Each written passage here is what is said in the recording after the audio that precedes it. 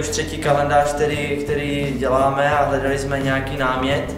A ten se nabízel tím, že vlastně 30 let od výročí první získané medaile z Dínského hokeje, což bylo v sezóně 1984-5, kdy vlastně tehdejší tým získal historicky první medaili bronzovou a chtěli jsme legendy té doby a opory spojit s těmi dnešními a proto nás napadlo udělat kalendář, kde bychom právě spojili tehdejší hráče a ty nynější. A aby, aby ta návaznost tam byla jasná, tak jsme ty tehdejší hráče oblíkli do gotvalovského dresu a, a šli jsme do toho.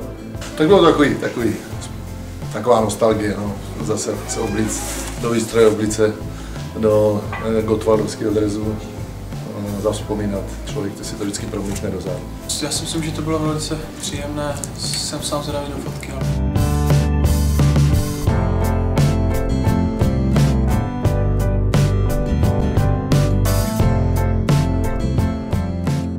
Kalendář by měli do prodeje na začátku prosince.